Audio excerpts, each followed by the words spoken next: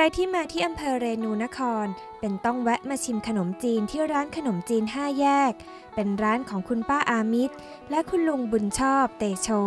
ที่ยึดเป็นอาชีพหลัก ตั้งแต่ยังหนุ่มยังสาวมานานกว่า 40 ปีแล้วค่ะ และเมนูจานเด็ดประจำร้านสุดชาวภูไทย ก็คือขนมจีนน้ำกะปิ และน้ำปลาร้านัว ทานคู่กับผักต้มค่ะ อ๋อ นี่น้ำอะไรคะเนี่ย อันนี้น้ำกะปิ น้ำกะปิ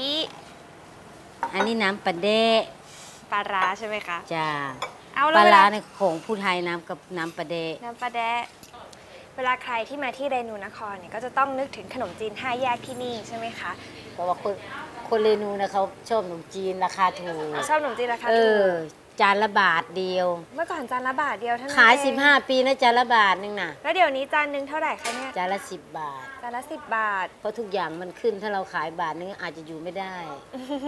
ก็เลยขึ้นราคา ค่ะ แต่ว่าเมื่อกี้ลองชิมไปแล้วเนี่ยนะคะ เส้นขนมจีน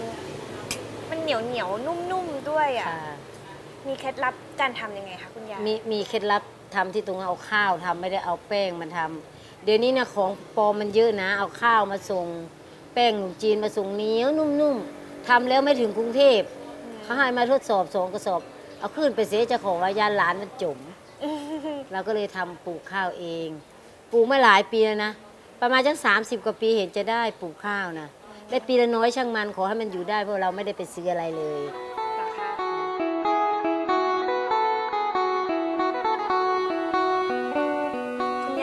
พื้นที่นาทั้งหมดนี่คือที่ที่สำหรับปลูกข้าวเพื่อเอาไปทำขนมจีนเลยเหรอคะ เอาไปเอ็ดเอาพบเอ็ดเอ็ดขนมจีนนั่นแหละค่ะ ทั้งหมดเลยจ้าหมดนี่นี่กี่ไร่คะเนี่ย มีสิบไร่สิเขาบทำขนมไร่จีนนะ แล้วไม่ใช่สารเคมีเลย ไม่ ปลูกเองนานปลูเนี่ยกคะองเนี่ย ค่ะ เป็นข้าวพันธุ์อะไรคะ ข้าวเหลืองใหญ่ ข้าวเหลืองใหญ่จ้าเป็นยังไงข้าวเหลืองใหญ่ ข้าวเหลืองใหญ่ก็เป็นคือข้าวเจ้านี่แหละแต่มันเป็นแบบว่ามันแข็ง ค่ะ เอ็ดข้าวปุ้นแล้วมันจะเหนียวนุ่ม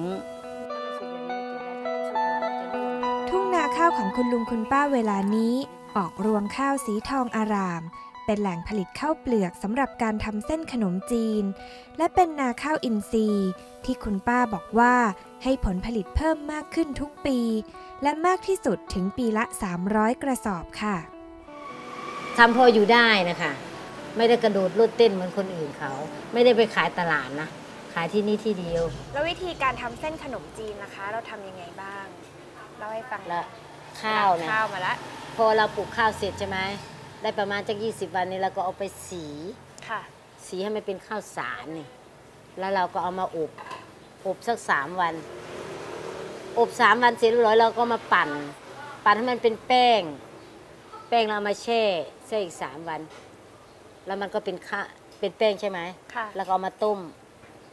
ต้มแล้วก็เอามานวดนวดมือนะอืมนวดแล้วก็มาใส่เครื่องบีบ แล้วอย่างเมื่อก่อนมีเครื่องบีบไหมคะ ไม่มี ไม่มีแล้วเราทำยังไงอะคะ ก็ก็นวดนี่แหละ ใส่กระมังนวดนวดนวดนวดนวดเอาเออนวดเหมือนนวดแล้อะวไร ทำให้เป็นเส้นๆทำยังไง มันไม่ทำเป็นเส้นนวดให้มันเป็นแป้งเหลว แล้วเอากระป๋องมาใส่แล้วก็กดลง อ๋อ ตอนไปรับเสด็จก็ยังเอาไปเลย เหรอคะแต่เดี๋ยวนี้ เส้นขนมจีนของคุณลุงคุณป้าที่ทำจากข้าวเจ้าร้อยเปอร์เซนมีคุณสมบัติเหนียวนุ่ม หอม และอร่อยกว่าเส้นขนมจีนที่ทำจากแป้งผสมทำให้มีลูกค้าในจังหวัดแวะเวียนมาอุดหนุนไม่ได้ขาด และการที่เส้นขนมจีนคงความสดไว้ได้นานถึง 2 วันทำให้ลูกค้าสามารถซื้อเป็นของฝากได้ แม้จะต้องเดินทางไปอีกไกล ขนมจีนห้าแยกในวันนี้ จึงเป็นที่ฝากท้องของคนในชุมชน และเป็นอีกเมนูท้องถิ่นสำหรับผู้มาเยือนเรนูนครค่ะแซ่บเสร็จเหมือนน้ำพริกกะปิปลาร้าก็ใส่ข้างนึงอ่าใส่นิดนึงมาดีนครมาซื้อข้าวปุ้นหน้าแยกเด้อเด้อเนาะก็จะมาปะยายใช่ไหมที่